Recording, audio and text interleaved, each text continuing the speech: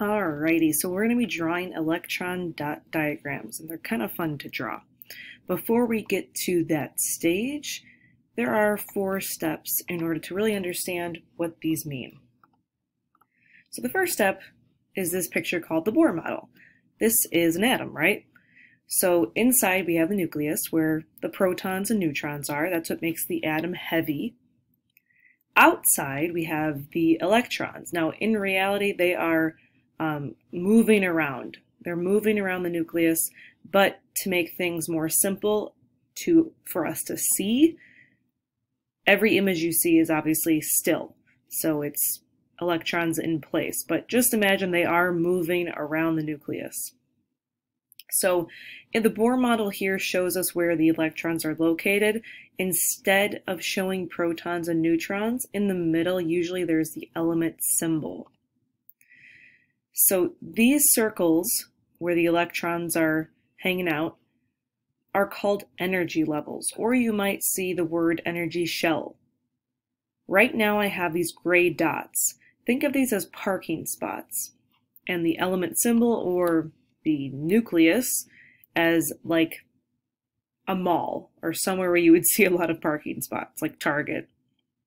So all these parking spots around this really cool place like Target. Now each element, remember, has different properties, like different number of electrons, for example.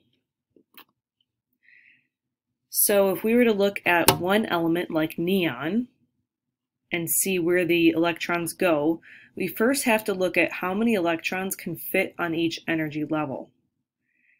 Now, think of these first two spots here like priority shoppers, right? Maybe those who are disabled, or like you see those parking spots that are pickup only.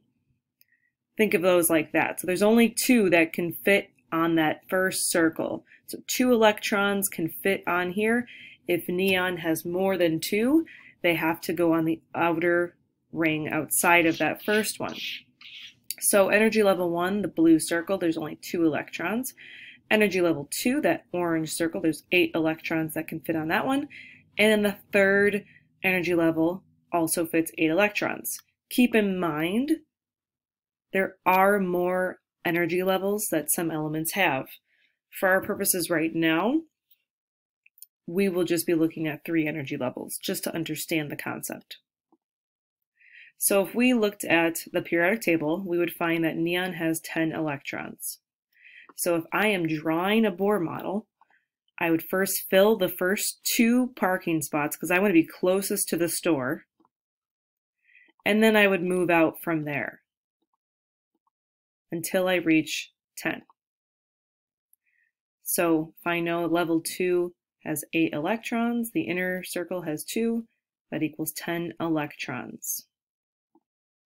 What about sulfur? If we look at the periodic table, we see sulfur has an atomic number of 16, which means there's 16 electrons.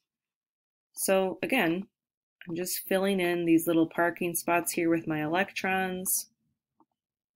So that should give me 10, 11, 12, 13, 14, 15, 16,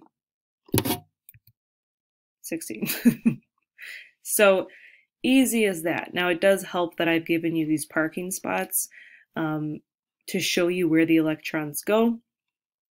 In reality, again, because we're looking at a drawing, it's not as accurate as what you would actually see if you saw a real atom microscopically swirling around, the electrons are constantly moving, and the distance between the nucleus and these outer rings might be different. But for our purposes, for understanding the concept, let's keep it simple. And just remember, you could always go back to these notes to see how many electrons will fit on these energy levels.